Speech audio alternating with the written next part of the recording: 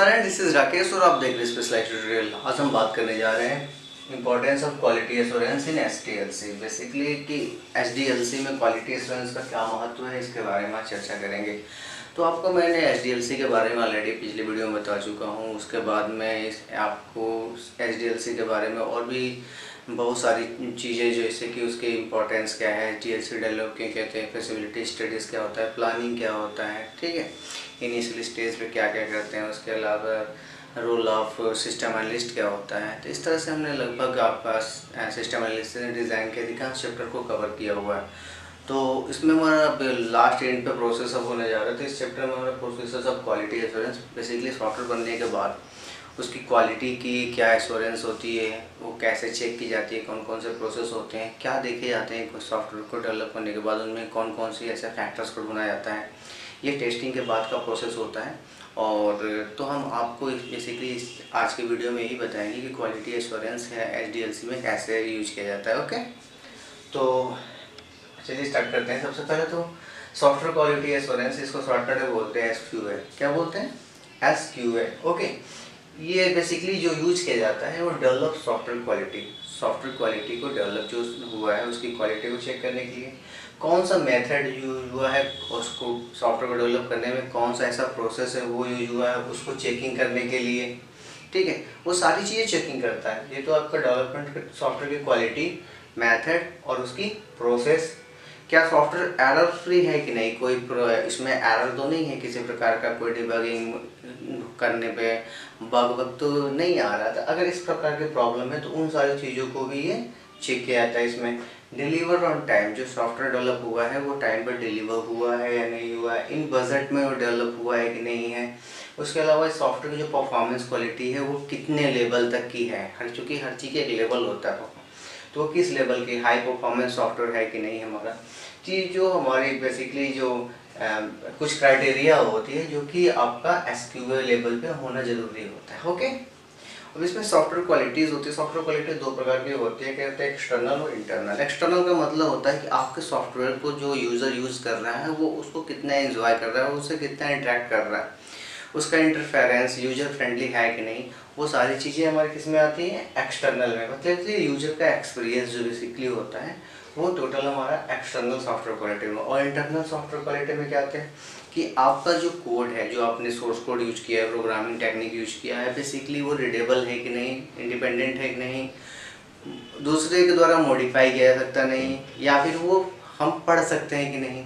ये बेसिकली वो internal code dependent वो कोड डिपेंडेंट हो कि कोई भी उस कोड को यूज़ कर सके।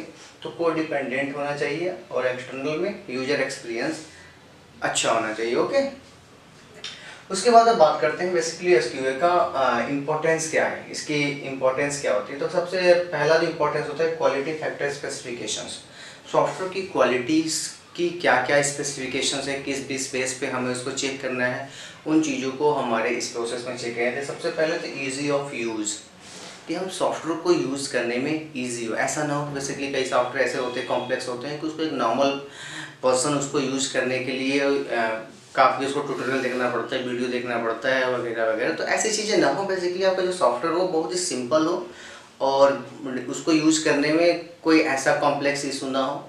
जो आपके मेन्यूज़ हों साफ़ सुथरे हों, उसके बाद जो कल कैंसिल हो ओके हो, या फिर कोई आप इंसर्ट करना हो फ़ोटो ड्रैग करना हो तो प्रॉपरली जो आइकन्स होते हैं, वो आपके प्रॉपरली होने चाहिए कि हाँ लगे कि हाँ यहाँ से हमें ये एक्शन परफॉर्म करना है। तो कहने का मतलब ये है कि यूज़ करने में इजी हो, ज़्यादा डिफ़िकल्ट ना हो इंस्टॉलेशन में भी ज़्यादा प्रॉब्लम ना हो तो ये सारी चीज़ों को ध्यान में रखते हो तो ईजी टू यूज़ ठीक है? उसको कोई भी यूज़ कर सके, एक सिंपल ट्यूटोरियल के द्वारा, जैसे हम लोग कोई भी सॉफ्टवेयर हम लोग किसी से बनवाते हैं या फिर हम कोई एंड्रॉयड ऐप भी यूज़ करते हैं तो हम ये चाहते हैं कि उसको यूज़ करने के लिए ज़्यादा हमें कॉम्प्लेक्स प्रॉब्लम फील ना हो, हमें ईजिली हम उन चीज़ों को एक्सेस कर सकें तो हमें जो चीज़ ईजी मिल जाती है, हम उन चीज़ों को ज़्यादा इन्जॉय करते हैं।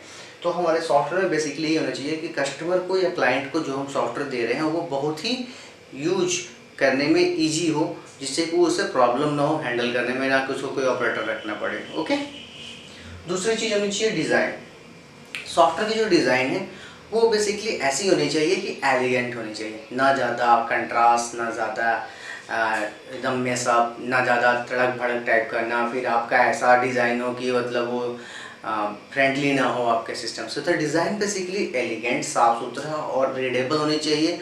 दूसरी चीज़ हमारी ये बेसिकली रिस्पॉन्सिव होनी चाहिए कि हर डिवाइस पे गैजेट पे ये आपकी खुल सके। ठीक है? मोबाइल वर्जन होनी चाहिए। साथ में ये टैबलेट या फिर आपका सिस्टम पे हो, सब पे हो काम कर सके।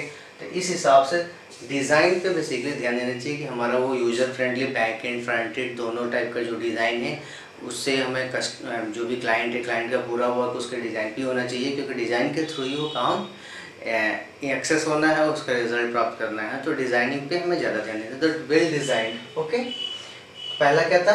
इजी ऑफ़ यूज़ यूज़ करने का आसानी से यूज़ होना चाहिए इस तो आसानी से तब यूज़ होगा जब वो डिज़ाइन में सही रहेगा ओके उसके बाद स्पीड सॉफ्टवेयर हमारा स्पीड उसकी अच्छी होनी चाहिए।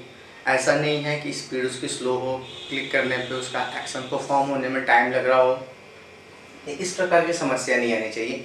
हमारा सॉफ्टवेयर बेसिकली एक लो कॉन्फ़िगरेशंस पे लो स्पेसिफिकेशंस पे उसको अच्छे से चलना चाहिए और वो किसी भी सिस्टम पे बेसिकली इंडिपेंडेंटली वो किसी भी सिस्टम पे इंस्टॉल होके और रन कर सके।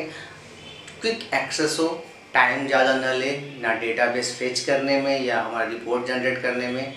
तो ये चीज़ों का ध्यान रखें तो सॉफ्टवेयर में स्पीड होनी चाहिए एक्सटेंडेड ओके सिक्योरिटी सिक्योरिटी का मतलब होता है कि हमारा सॉफ्टवेयर जो हमने जो डेवलप किया हुआ है, उस सॉफ्टवेयर में बेसिकली सिक्योरिटी पर्पज से हमें इनक्रिप्ट और डिक्रिप्ट दो चीज़ों का यूज़ करना चाहिए। पासवर्ड प्रोटेक्टेड होना चाहिए, उसके बाद लॉगिन आईडी होनी चाहिए बेसिकली एडमिनिस्ट्रेटर लेवल पे।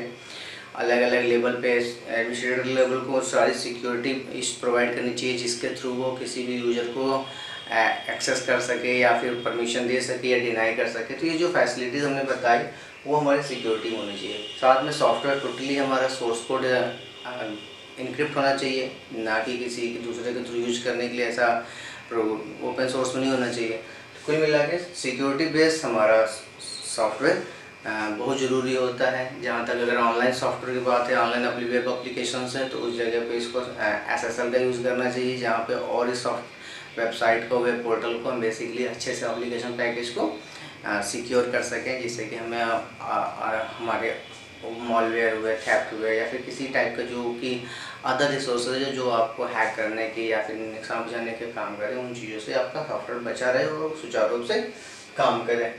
ओके अब एरर फ्री सॉफ्टवेयर हमारा एरर फ्री होना चाहिए, उसमें किसी प्रकार के एरर नहीं होने चाहिए। चलते चलते हमारे सॉफ्टवेयर में कोई इशू ऐसा ना है जिससे कि वो एरर आ जाए। जैसे तो ऐप बेसिकली हमें सॉफ्टवेयर जब भी आपको किसी को देना हो तो उससे पहले हम उन चीज़ों को चेक कर लेना चाहिए। किसी में किसी प्रकार की एरर ना हो, चाहे कंपाइलिंग है, चाहे रन टाइम एरर किसी प्रकार की एरर तो ना हो। तो एरर फ्री होनी चाहिए। पोर्टेबल पोर्टेबल का मतलब ये होना चाहिए होना चाहिए सॉफ्टवेयर में कि सॉफ्टवेयर किसी भी सिस्टम पे इंडिपेंडेंटली वो रन कर सके। इसके लिए ऐसा नहीं है कि हाँ पर्टिकुलर इस इस टाइप का स्पेसिफिकेशन होना चाहिए कि हाँ इसी सिस्टम पर रन करेगा। ऐसा कुछ नहीं। यूज़र इंडिपेंडेंटली सभी इन्वायरमेंट पर आसानी से चल सके। तो उस हिसाब से हमें पोर्टेबल सॉफ्टवेयर होना चाहिए। टेस्टेबिलिटीज़ जो सॉफ्टवेयर होना चाहिए, पूरी तरह से टेस्टेड होना चाहिए।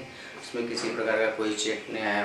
आपका क्वालिटी चेक के बिना आपको नहीं प्रोवाइड करना चाहिए। हर लेवल पर चेक कर लीजिए। चाहे वो कोडिंग लेवल हो, चाहे डिज़ाइनिंग लेवल हो। ठीक है? उसके बाद उसको आपको देना चाहिए। टेस्टिंग टेस्टेबिलिटी पे होता है। मेंटेबिलिटी सॉफ्टवेयर ऐसा होना चाहिए जो कि आप मेंटेन कर सकें इवन फ्यूचर कुछ भी चेंजमेंट होती है सॉफ्टवेयर में उन सारी चीज़ों को चेंजमेंट करने के लिए आप उसको मेंटेन कर सकें सपोर्ट दे सकें। तो आपको मेंटेन करने के लिए मेंटेनेबिलिटी होनी चाहिए। ऐसा नहीं है कि वो मेंटेन ही ना कर सके।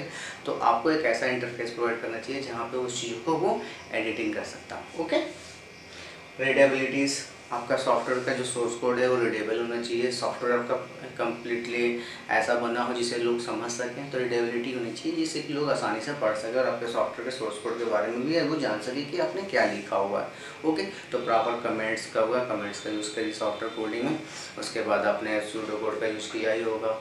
उन सारी चीज़ों को एक प्रॉपरली बना के आप उस क्लाइंट को पेश करते हैं, जिससे कि उसको आपके सॉफ्टवेयर में क्या क्या किया है, उन चीज़ों की एटलीस्ट जानकारी रहे। तो फुल डॉक्यूमेंटेशंस और कमेंट के साथ आप सॉफ्टवेयर के कोर्स सोर्स कोड को डिज़ाइन करना चाहिए, जिससे कि उसमें रीडेबिलिटी रहती है, लोग उसको समझ सकें, जो भी डेवलपर है, उसको आप पढ़ सकें, वो क्या लिखा हुआ है। इनकेस अब ये इश्यूज़ तब आती है जब सपोज़ दैट कि आपने सपोर्ट देना बंद कर दिया और सॉफ्टवेयर में कोई इश्यूज़ आ गए और वो आपको ना हायर करके किसी और डेवलपर को हायर करता है तो अगर आपने उस प्रॉपरली सोर्स कोड में सिस्टम को अच्छे से डेवलप किया हुआ है तो उस समय उन चीज़ों के लिए जो अगला डेवलपर है, उसको वो आसानी हो जाती है उन चीज़ों को समझने के लिए कि आपने किस किस तरह से इस चीज़ों को फॉलो किया हुआ है या फिर राइट डाउन किया हुआ है सॉफ्टवेयर में कोड को। तो रीडेबिलिटी बहुत ज़रूरी होती है ओके उसके बाद रिलायबिलिटी हमारा सॉफ्टवेयर रिलायबल होना चाहिए। रिलायबल बेसिकली होता ही है सॉफ्टवेयर ऐसा नहीं है चीटेड नहीं होना चाहिए, जो भी होना चाहिए जेनविन थैप ठीक है थैप नहीं होना चाहिए। और दूसरी चीज़ की यूज़ यूज़र को जो चीज़ें उसको चाहिए, वो सारी चीज़ें वो प्रॉपरली रिपोर्ट दे रहा हो जनरेट करके दे रहा हो, इसमें किसी प्रकार की इशूज़ नहीं होनी चाहिए ओके रिलायबिलिटीज़ में। फंक्शनलिटीज़ पूरी तरह से सारे फ़ंक्शन जितने भी हो प्रॉपरली काम कर रहे हो तो वो चीज़ें आपको चेक करनी चाहिए ए टू जेड को सारे फंक्शनलिटी काम कर रहा हूँ। तो कुल मिला के हमारा क्वालिटी फैक्टर्स स्पेसिफिक है of use design speed security error free portable testabilities उसके बाद mentality readability reliability and functionalities तो ये सारी चीज़ें हमारी क्वालिटी फैक्टर स्पेसिफिकेशंस में बेसिकली होनी चाहिए। उसके बाद चेक करने के बाद ये सब प्रोसेस में सॉफ्टवेयर टेस्टिंग एंड इम्प्लीमेंटेशन फिर सॉफ्टवेयर का टेस्ट किया जाता है। सॉफ्टवेयर टेस्टिंग करने के बाद अलग अलग पेज पर उसकी टेस्टिंग होती है। ठीक है?